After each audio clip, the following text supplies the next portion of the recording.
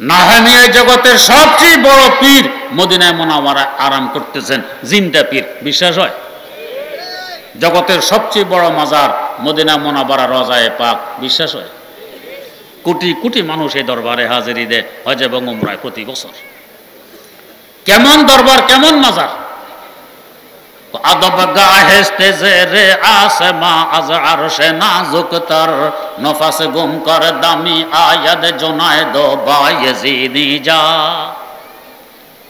এমন স্পর্শকাতর দরবার যেখানে জুনায়েদ বাগদাদি এবং বাইজিদ বোস্তামির ন্যায় যুগ শ্রেষ্ঠ অলিরাও নিঃশ্বাস বন্ধ করে ঢুকতেন। না জানি কোনো বেয়াদবি হয়। আমার দাদা উস্তাদ ইমামুল আসর হজরত শাহ আনোয়ার কাশ্মীরি রাহেমহুল্লাহ তাল্লার ভাষায়।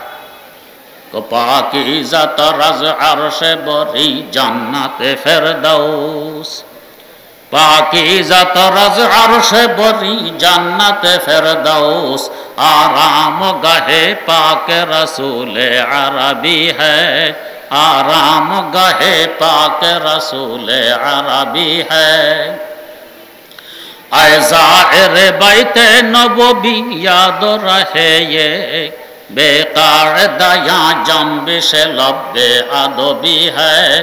بے قاعدہ یہاں جنبش لب ادبی ہے۔ آہستہ قدم پست نگاہ پست صدا ہو۔ خوابیدہ یہاں روح رسول عربی ہے۔ है खाबिदा यहाँ रूह रसूल अरबी है ও মদিনার জিয়ারতকারী তোমার কি জানা আছে কোন দরবারে হাজরি দিতে এসেছ খবরদার আস্তে আস্তে কদম ফেলবে যাতে শব্দ সৃষ্টি না হয় শব্দ সৃষ্টি হলে বেয়াদবি হবে নিম্ন স্বরে কথা বলবে উচ্চ স্বরে কথা বললে গোস্তা কি হবে দৃষ্টি নিচের দিকে রাখবে, না হয় বেয়াদবি হবে। তোমার কি জানা আছে? এখানে দো জাহানের বাদশা আরাম করতেছে। ও যে আরতকারী যে মাটির সাথে আমার নবীর দেহ মোবারক মিশে আছে, এই মাটিটার মূল্য তো আর সে মহল্লা থেকেও বেশি। শুধু তার কথা নয় সরহুর শিফালে কাজে ইয়াজ খুলে দেখুন, আল মুফান্নাদ আলাল মোহান্নাদ খুলে দেখুন। আহল সুন্নত জমাত রক্ষমত এই মাটির মূল্য আর সে মহল্লা থেকেও বেশি। কারণ ওলামায় কারাম বুঝবেন, আর সে আল্লাহ আমার আল্লাহর জন্য মকান নয়, আমার আল্লাহ আরশের জন্য মাকিন নন।